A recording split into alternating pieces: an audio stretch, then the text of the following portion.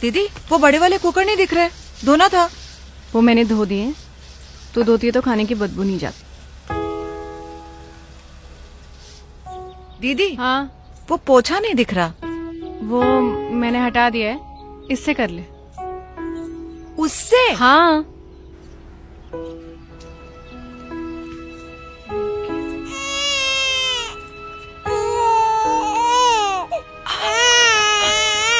तू रहने दे।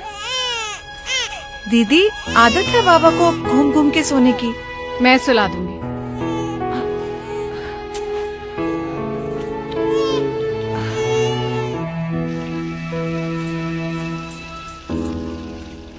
ये क्या कर रही है? दीदी कपड़े धोने के लिए पानी भर रही थी।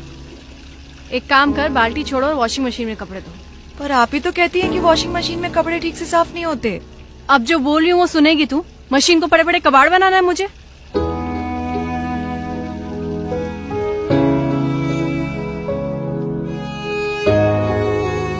घर कब जा रही है? बस निकल ही रही थी दीदी। सुन ये फ्रूट्स बड़े बड़े सड़ रहे हैं। ले जा।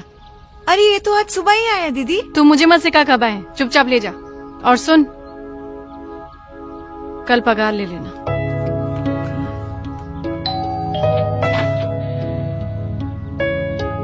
क्या चाहिए? हमको मैडम ने बुलाया है। हाँ आजा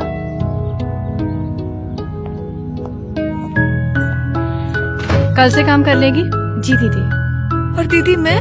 तुझसे नहीं हो पाएगा। तू प्रेग्नेंट है। दीदी मैं कर लूँगी। झाड़ू पोछा कपड़े बर्तन सब करने बर्तन से खाने की बदबू नहीं आनी चाहिए। ठीक है? जी ठीक है दीदी। तू गई नहीं अब तक? और दीदी खाना कितने लोगों के लिए बनाना होगा? खाना तो रहने दे। वो मैं और राधा बना लेंगे। बना लेंगे ना राधा?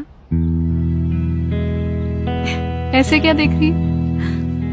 याद है तुझे? जब अर्जुन होने वाला था, तू तो भूल ही गई थी कि तेरा भी एक घर है। यहीं पड़ी रहती थी पूरा दिन।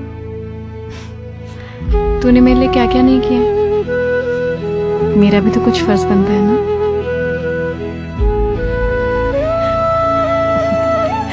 चल अब जा टाइम से आ जाना। और हाँ फल तो ली थी जा